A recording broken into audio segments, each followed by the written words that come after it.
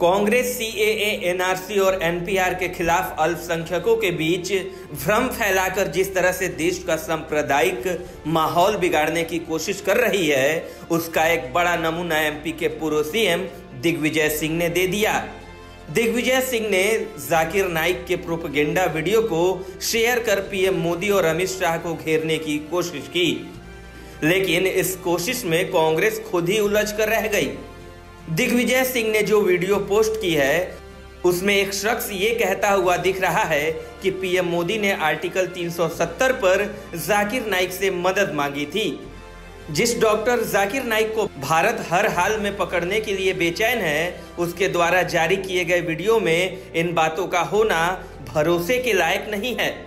इसी वजह से बीजेपी ने पलटवार करते हुए सवाल किया कि क्या कांग्रेस जाकिर नाइक के पक्ष में है? क्या सोनिया गांधी और राहुल गांधी जाकिर नाइक का समर्थन करते हैं? अब इन सवालों का जवाब तो कांग्रेस को देना ही चाहिए।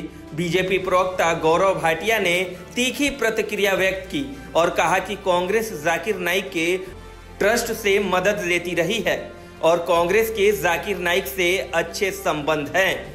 बीजेपी ने यह भी आरोप लगाया है कि दिग्विजय सिंह जाकिर नाइक को शांति का दूत बताते रहे हैं। बीजेपी के महासचिव कैलाश विजयवर्गीय ने कहा कि दिग्विजय सिंह के पास ये खबर कहाँ से आई? क्या वो जाकिर नाइक से जुड़े हुए हैं? क्या उनके तार जाकिर नाइक से जुड़े हुए हैं? कुल मिलाकर दिग्गी राजा अपने ही खेल में फंस गए हैं। लेकिन सवाल है कि कांग्रेस जनता को मूर्ख बनाने के लिए ऐसी नीच हरकत कब तक करती रहेगी?